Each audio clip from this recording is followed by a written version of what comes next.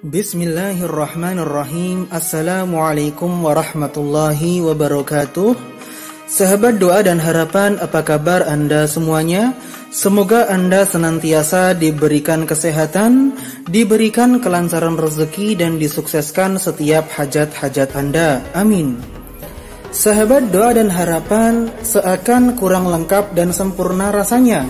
Apabila rumah tangga tidak ada seorang anak laki-laki yang merupakan buah hati tercinta sekaligus menjadi calon penerus bagi keluarga di masa yang akan datang.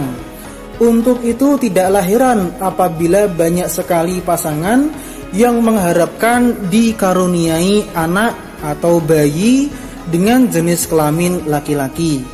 Untuk itu pada kesempatan yang baik ini kami akan berbagi ilmu atau doa atau doa dengan Anda semuanya yaitu doa agar mempunyai anak atau bayi laki-laki.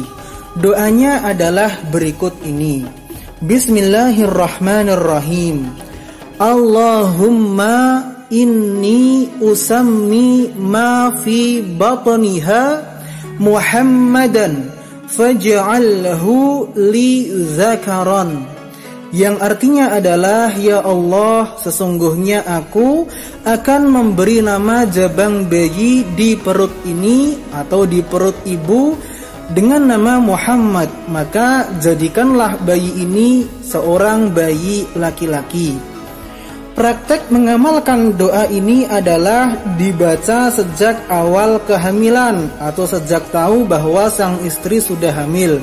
Caranya sang suami meletakkan telapak tangannya, telapak tangan kanannya di perut istrinya kemudian membaca doa ini minimal sebanyak tiga kali setiap harinya. Kemudian selain itu bacalah doa ini di waktu-waktu yang mustajab seperti dibaca setiap selesai mengerjakan sholat lima waktu dan lain sebagainya. Demikian amalan yang bisa kami bagikan kepada Anda. Semoga bermanfaat.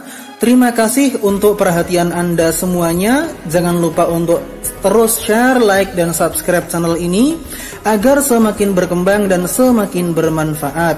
Kami akhiri wassalamualaikum warahmatullahi wabarakatuh.